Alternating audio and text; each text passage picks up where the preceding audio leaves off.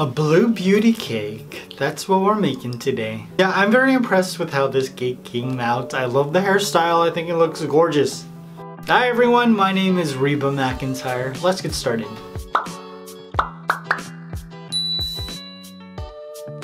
So this is my next step into the world of beauty. Blue hair with some sprinkles, with a little bit of red sprinkles, a little bit of blue and white. I think they're snowflakes maybe? I don't know, they were in my sprinkle jar. I thought they looked cool, so that's why I added them. I love the way I created this cake, so let's get to it. To create the hair of this beauty cake, I used my adjustable cake pan, the silicone one. So I wanted the hair to be like folded on over to one side, you know? Super dramatic. And so I created this shape. It looks like the end of a golf club or also Goofy's left footprint. So I cut my cake in half. I added the skull cake that I created, which I used to create all of my beauty cakes, to one side. But I need to cut out the cake underneath it. So I've got my golf club shaped cake and I'm gonna add some buttercream into the middle.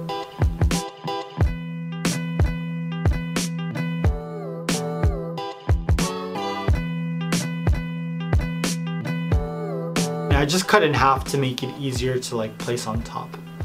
And we got my skull cake in the middle and I started to shape the hair. I was inspired by a lot of like hair flipping.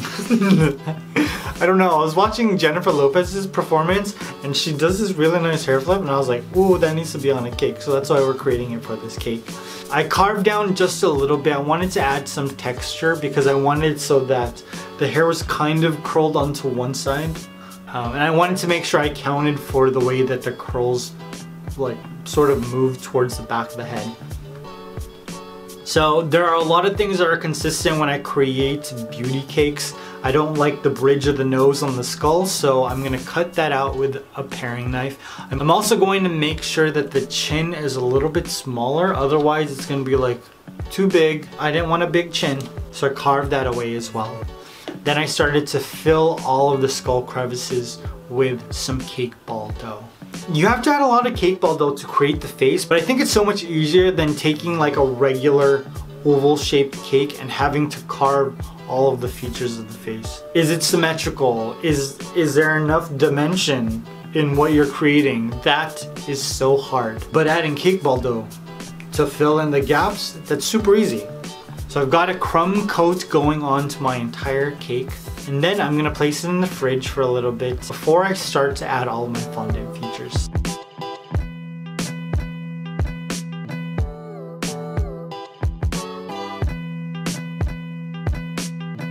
Now the first thing I'm going to add is a little ball of fondant to create her nose and some skin tone color fondant to create her neck. I did it separately. I thought it'd be too hard to create her neck and her face since the neck is a lot lower than the rest of her face. So we get that going on top. Now I'm gonna cut away some of the excess fondant on the side and start to really shape her nose. I think when I created the first two like beauty cakes, the nose was too big for my liking. And I don't really know how to create specific shapes just yet, but I know what I want the nose to kind of look like and I wanted it to be a little bit smaller, so I kept that in mind.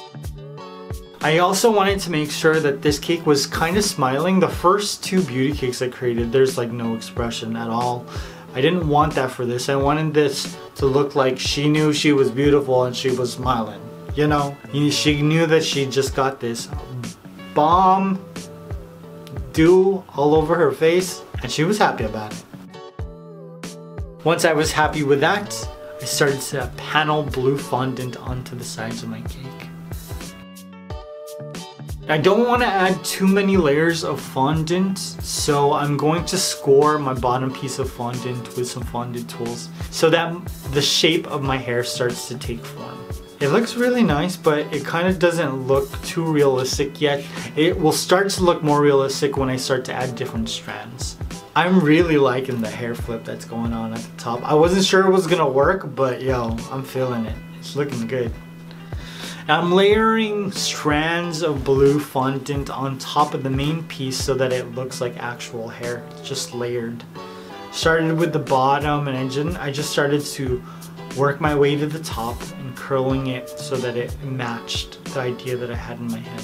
I was so scared that this was just gonna look flat. So I tried to add as many dimensions with the pieces of fondant that I was adding on top so it actually looked like hair on a person. Then I added one ear because the other ear is covered with hair. Once I was happy with the way that my fondant looked, I started to paint. So I started with the hair and I decided that I wanted like the bottom of her hair to show roots. And so I went with a nice black color.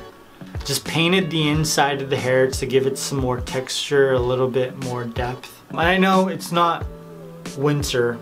I'm not posting this in winter, but maybe you're watching it in the winter. But that was the kind of theme I wanted to go to.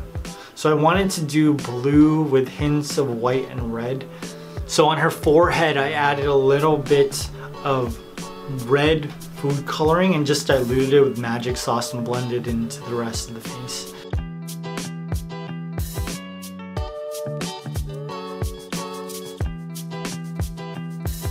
Now I'm using some red jimmies as well as some snowflake sprinkles that I've had since like two Christmases ago. I never ended up using them, so, which was actually beneficial because I had them ready for this. I concentrated my sprinkles onto the hair flip and just had them sprinkled very lightly onto the rest of the hair. I wanted to save the sprinkles for last, but I ended up saving the eyebrows for last just because I didn't want to do them. I was scared. Now I'm using a little bit of blue and gray and a little bit of silver as well. Uh, luster dust and food coloring to create my Snow Beauty's eyebrows. How did they turn out? I think they turned out pretty well. Now her eyes are closed so that you can see all of the makeup under her eye and her eyelid. And then I use the same blue to create her lips. And voila, my winter beauty cake was complete. Do you like it? She looks like some sort of like an ice princess. Maybe a Christmas ice princess. I love the eye makeup, I love the blue lip, but most importantly, I love that I was able to incorporate sprinkles. Gives you a hint that this is not an art piece, but a cake just makes this piece look stunning. Ooh, I love that hair flip. I'm gonna replicate that on another cake because it looks pretty bomb. Now I'm curious, I just basically decided blue and red for this cake and I want you guys to give me two colors that you think should appear on the next beauty cake. Make sure you let me know in the comments because your ideas could be inspiration for the next cake. I hope you guys enjoyed this. I love you. I'll see you very soon. Peace!